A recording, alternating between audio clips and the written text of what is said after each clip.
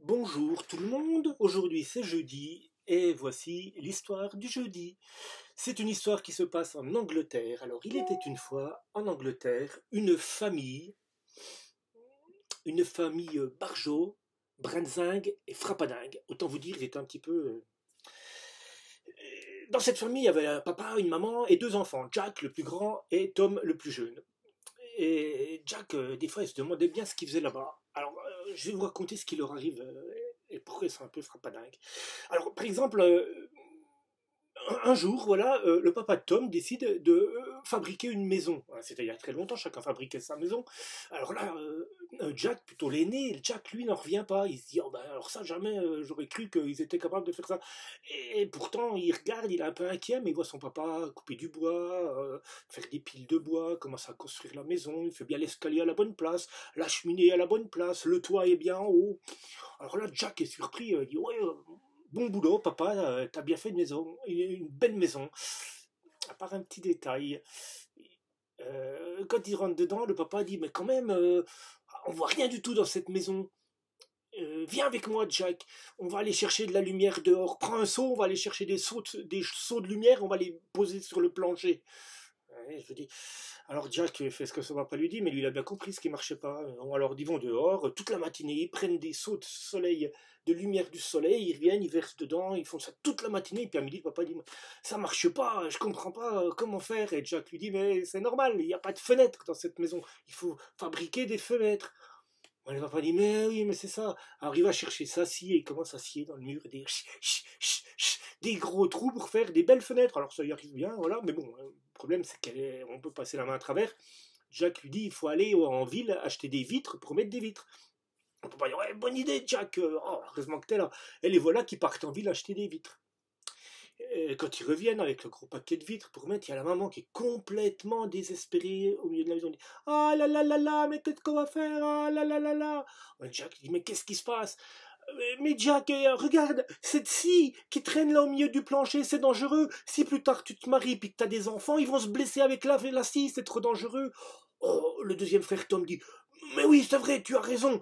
Euh, vilaine scie, il faut la punir. Je vais la prendre et je vais aller la noyer dans la rivière. Le garçon prend la scie, il l'emmène à la rivière, pouf, il l'achète dans la rivière. Jack arrive à côté de lui, il dit Mais vraiment, mais vous êtes tous un peu zinzin. Hein. Tu as jeté dans la rivière un des outils qui nous était utiles pour finir la maison. Comment on va faire maintenant? Ah, j'en ai plus cassé de cette famille. Je m'en vais. Euh, je m'en vais, je ne reviendrai que si je rencontre trois personnes encore plus fous que vous. Mais je suis sûr que c'est impossible. Et Jack s'en va. Et il va de village en village, de ville en ville pendant quelques temps.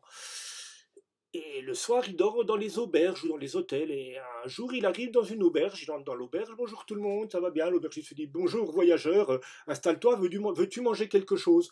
Jack dit Bah oui, j'aimerais bien, tiens, un, œuf dur, je mangerais bien un œuf dur. L'aubergiste dit Pas de problème, je vais aller faire ça tout de suite. Et Jack se met à table et il attend.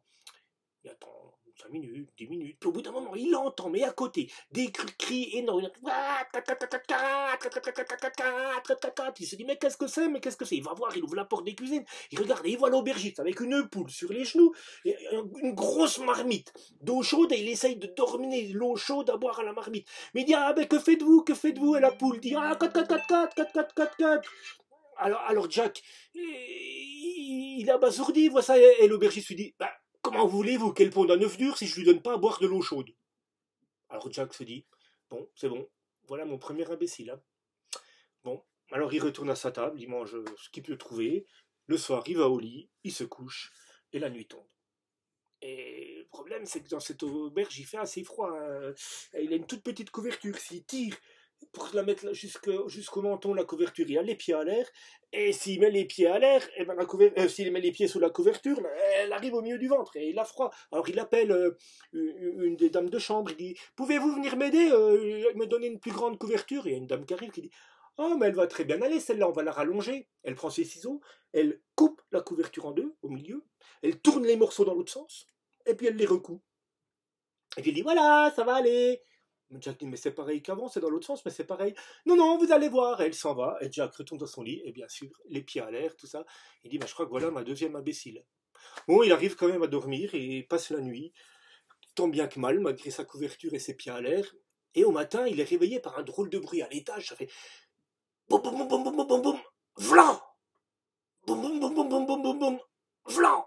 Alors il laisse passer, mais au bout d'une de, demi-heure que ça dure, boum boum boum boum boum boum Flan Oh, je vais aller voir ce que c'est. Il, prend, il monte à l'étage, il, il, va il frappe à la porte, il dit euh, Qu'est-ce qui se passe Est-ce que vous avez besoin d'aide Oh, je ne sais pas comment faire, mais entrez. Il ouvre la porte, il regarde dedans, et voilà un monsieur avec une moustache rousse qui va qui est vers son lit, qui prend son élan, boum, boum, boum, boum, boum, boum, et qui saute entre deux chaises où il a pendu son pantalon avec les bretelles entre les deux chaises et qui essaye de sauter dans le Ah, il s'étale par terre à chaque fois, il retourne vers le lit. Boum, boum, boum, boum, boum, boum. Vlan, il s'étale à chaque fois.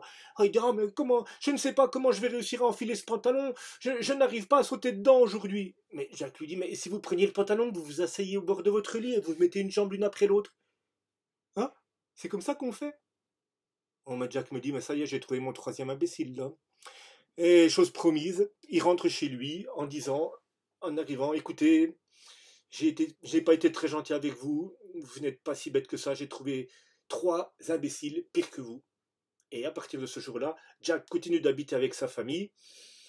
Et on raconte même que lui et Tom ont ouvert un magasin. Ils vendent des cornets de glace percés, ils vendent des allumettes qui ne s'allument pas, et des boules de pétanque carrées. Et on dit qu'ils ont un succès monstre avec tous les imbéciles du secteur. Hein. Ça, ils en vendent beaucoup.